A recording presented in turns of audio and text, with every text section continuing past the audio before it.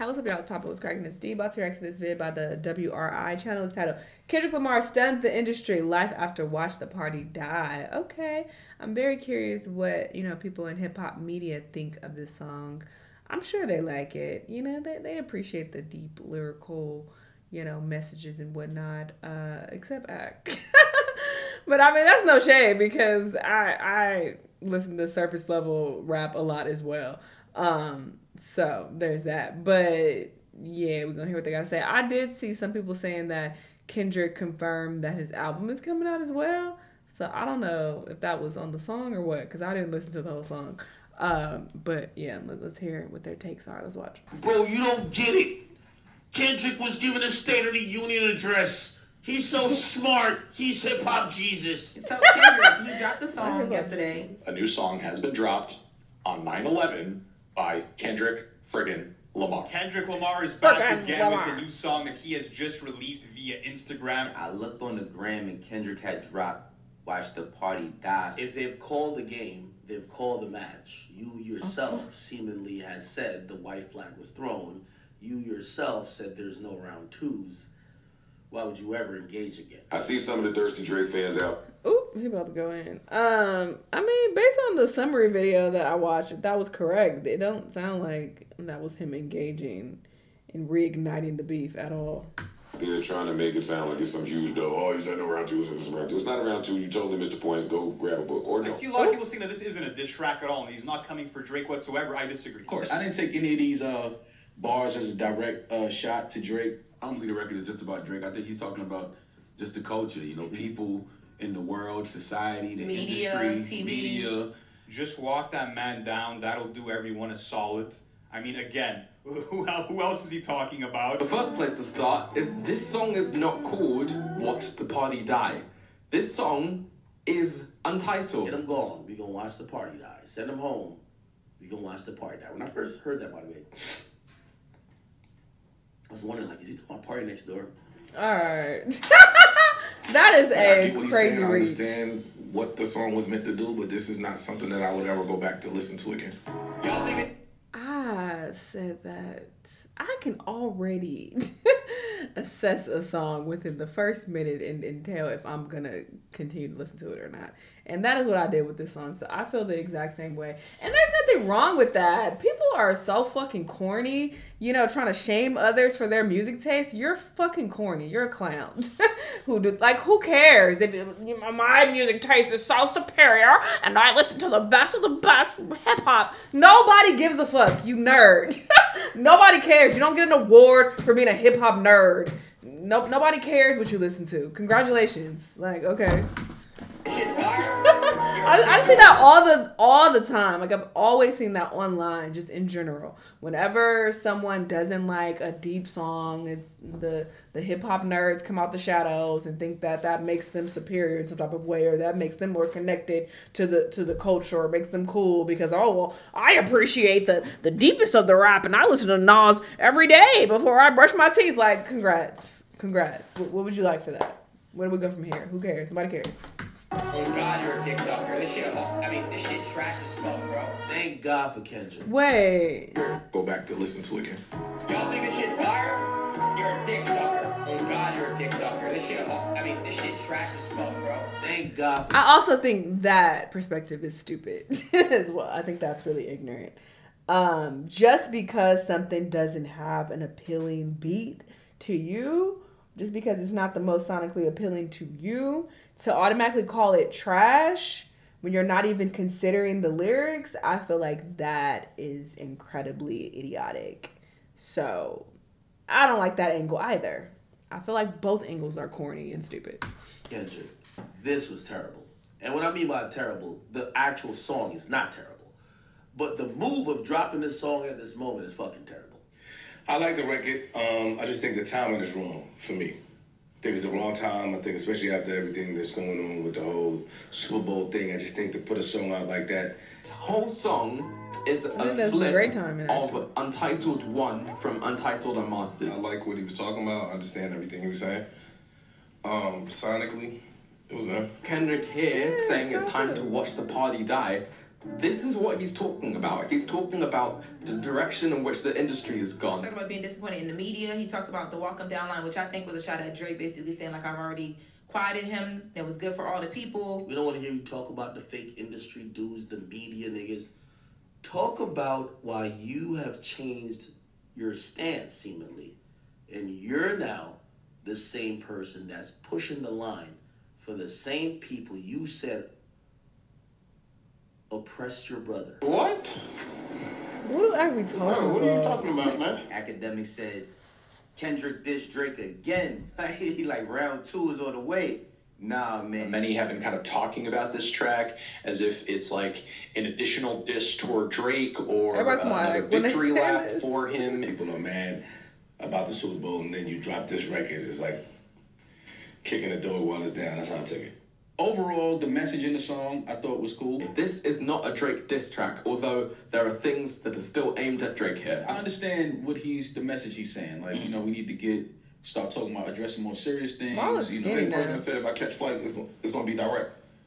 And I'm not sneak dissing, I'm not subbing. So for you to, if this were a Drake diss and you come out subbing like this, it's very hypocritical of everything you just said. I would love to hear Kendrick Lamar thoughts on why the hell he's now in bed with the NFL when a couple of years ago he was squarely on the side of Colin Kaepernick. Come on, use your head. You're just making it worse. This fool just dropped a fucking basically diss song at Drake in motherfucking September. I don't agree with some of the framing that this track is like, oh, Kendrick's starting it up again. This is round two. When no, this is in fact not round two. If you've won and you've been seen as one so gr- so gracefully and so strategically as people claimed you won, why would you ever want to run that back again?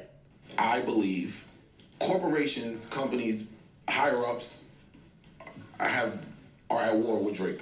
This move told me that Kendrick don't got nothing going on if it ain't got nothing to do with Drake. Who's the radio personality? Who is it? It's Charlamagne. He talked about radio personalities. Yeah, that is that is true. I think he's talking about you know the propaganda that is pushed on radio. Like you know, radio does push a lot of the, Y'all the, music that probably is influencing people wrong. Why reason with these guys if they can't see the future first? He's putting himself in the position of being prophetic, but it's also a double because of Like That, seeing the future first. Like That was a song with Future that first started this beef. I feel like this track illustrates the fact that uh, Kendrick's beef with Drake was so much bigger than Drake to begin with. You can't say there isn't no game two, then immediately drop a track seemingly baiting game two. whole back and forth wasn't really about uh, fighting with a single man. It was more about fighting with what he sees this man as a symptom of. This does feel like an epilogue for Kendrick where he's overviewing the battle and the aftermath of it, but even though it doesn't seem like he wants to re-engage in that battle, he is instigating Drake's ass. Drake is supposed to be the nigga who can't get over this.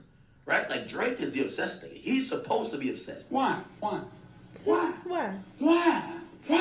What I feel like he's mostly upset about through his lyrics is just uh, this lack of music that gives listeners and gives people hope. feels like Kendrick is trying to cleanse and purify hip hop culture and push artists to make music with a real message and that has a lot of substance to it. I think these songs are trying to figure uh, are a real and purify hip hop culture. Listeners and gives people hope. Feels like Kendrick is trying to cleanse and purify hip hop culture and push artists to make music with a real message and that has a lot of substance to it. I think these songs are trying to figure are I hope that's not the case. See, I need to finish this song. I need to finish listening to this song because my I only watched the video that basically gave a summary of, of what the song was about, and that's just their perception.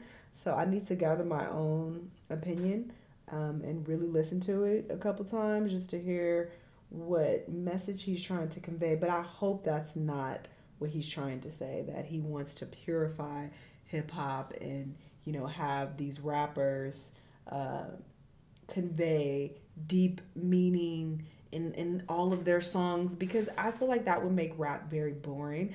I feel like based on the video that I watched, it sounds like he is just saying that there's a lot of toxicity out there because you can still create surface level basic um rap music without it being so toxic. So I don't think that type of music needs to be purified.